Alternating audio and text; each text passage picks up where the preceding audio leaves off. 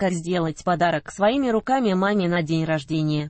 Мамин день рождения – это превосходное событие, а кроме того повод доказать, как сильно и крепко вы ее любите. Допустим, деньги опять куда-то испарились, а праздник уже на носу, нужно действовать решительной с улыбкой. Когда мы были маленькими, у нас не возникало вопроса, что дарить, и бумажные купюры были совершенно не нужны. Так чем мы хуже сейчас? Попробуйте. Подарки маме своими руками на день рождения.